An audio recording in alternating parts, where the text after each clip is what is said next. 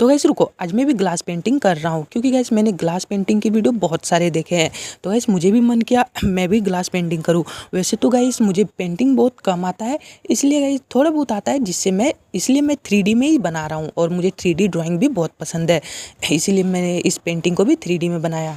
और गैस मैं आपसे कुछ कहना चाह रहा था गैस हमारे चैनल बहुत ही ज़्यादा डाउन चल रहे हैं तो गैस प्लीज़ थोड़ा सा हेल्प कर देना गैस लाइक करके।